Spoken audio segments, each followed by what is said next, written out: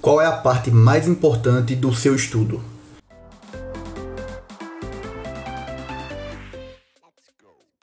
Talvez você ache que a quantidade de horas que você estuda ou o material que você utiliza, ou simplesmente a sua força de vontade, a sua motivação, o fato de você estudar muitas horas, mas não é nada disso. A principal parte do seu processo mesmo de estudar é você entender. Se você não entende o que você está estudando, não adianta estudar. Você vai estudar uma hora, duas horas, três horas, vai usar o melhor material, vai estudar com os melhores professores, vai ficar semanas, meses ou talvez anos se preparando e não vai passar no concurso público, simplesmente porque você não entende o que estuda. Você não aprende. Você está se enganando. Então, se você está estudando para concurso público ou para qualquer coisa na sua vida, você precisa aprender.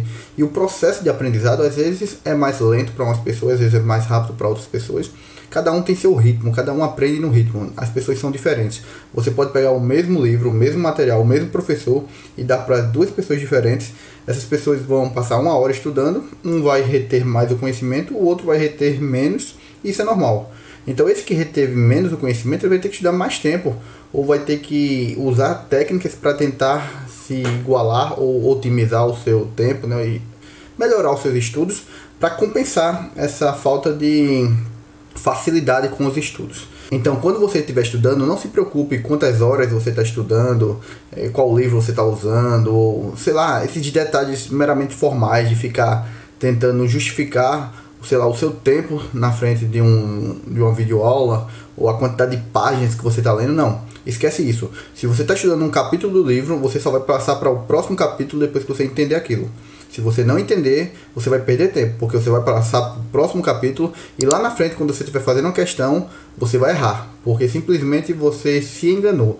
Você estudou algo, mas não aprendeu aquilo. Aí você pode chegar naquele problema. Não, professor, eu entendo, eu aprendo e parece fácil, sendo que depois de um tempo, quando eu vou fazer as questões, eu erro. Então, se você está errando, se você está aprendendo e depois está errando, é porque você não está revisando. Você naquele momento aprendeu. Se você fizer uma bateria de questões, você acerta.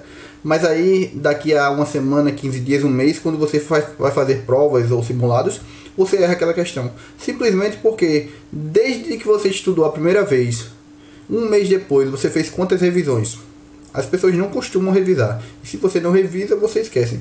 Então se preocupa em aprender e se preocupa em garantir que esse aprendizado vai ficar na sua cabeça, que você não vai esquecer com facilidade. E para você garantir a retenção desse aprendizado, você precisa revisar. Revisar com muita frequência até que aquele assunto fique natural na sua cabeça, na sua mente e você consiga recuperar toda vez que você precisar. Quando for fazer uma questão, você lembre com facilidade. Se você gostou desse vídeo, clique em gostei. Se tiver qualquer dúvida, comenta aqui embaixo. Assine o canal para ficar por dentro dos próximos vídeos. E até amanhã.